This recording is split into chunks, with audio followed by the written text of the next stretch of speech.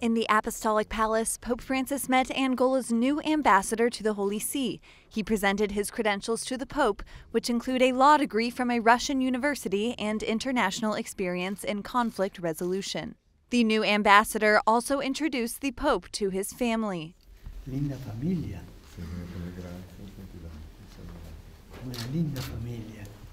Although the Pope has not yet visited Angola, Vatican Secretary of State Cardinal Pietro Parolin returned from a trip to the southern African country a couple of weeks ago. He traveled there to attend the ordination of the first Angolan nuncio. And Cardinal Parolin even said the Pope may visit soon. Yo creo que el Papa, que el Papa I believe that the Pope is very interested in a trip to Angola.